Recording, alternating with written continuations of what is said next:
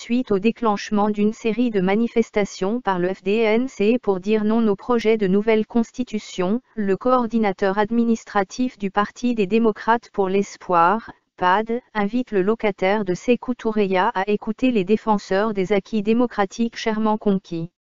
Selon Mohamed Kaaba, c'est le lieu pour le chef de l'État guinéen de prendre des dispositions pour que les personnes arrêtées injustement soient libérées. En le faisant, il aura rempli sa mission.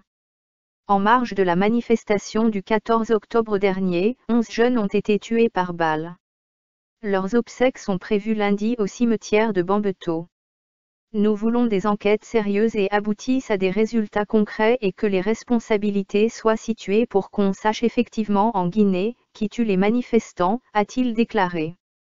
Mohamed Kaba ajoute que le président Condé devrait accepter d'entrer dans l'histoire par la grande porte.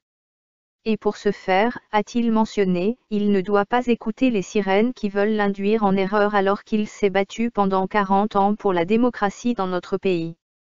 Il assure que le pensionnaire de Sékou Toureya a encore la possibilité d'entrer dans l'histoire par la grande porte en quittant le pouvoir au terme de son second et dernier mandat présidentiel en 2020.